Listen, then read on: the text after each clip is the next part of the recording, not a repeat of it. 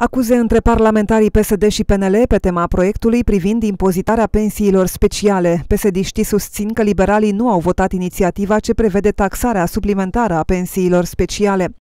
PNL nu a votat impozitarea pensiilor speciale, câtă demagogie. Ce mai țipau ei că sunt prea mari aceste pensii, că nu e echitabil față de cei care contribuie la pensii, că nu e corect față de ceilalți pensionari care au muncit o viață, că PSD e de vină, că PSD nu vrea. Toată minciuna și demagogia au ținut până ieri când a venit votul, a scris într-o postare pe pagina de socializare senatorul PSD Florin Cârciumaru.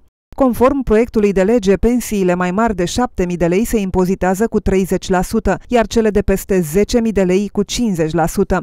Peneliștii îi acuză pe socialdemocrați că de fapt au propus impozite de ochii lumii și au protejat anumite categorii de beneficiari de lux. Din proiect au fost scoși parlamentarii, primarii și președinții de consilii județene, susțin liberalii.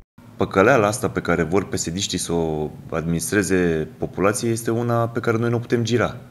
Adică, uh, pe de o parte, în acest proiect uh, introdus de Teodorovici, uh, sunt exceptați de la impozitare parlamentarii și aleși locali.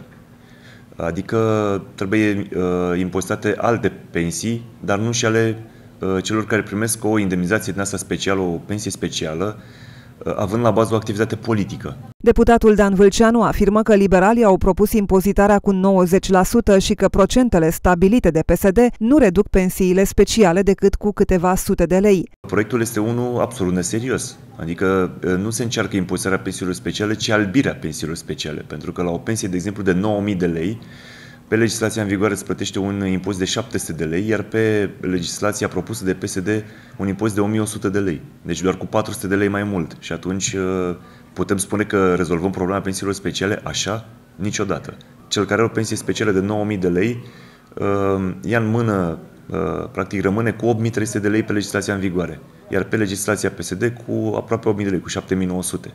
Ori nu asta înseamnă să Uh, rezolv problema pensiilor speciale în România. Proiectul a trecut de Senat și urmează să fie supus la vot și în Camera Deputaților, care este for decizional.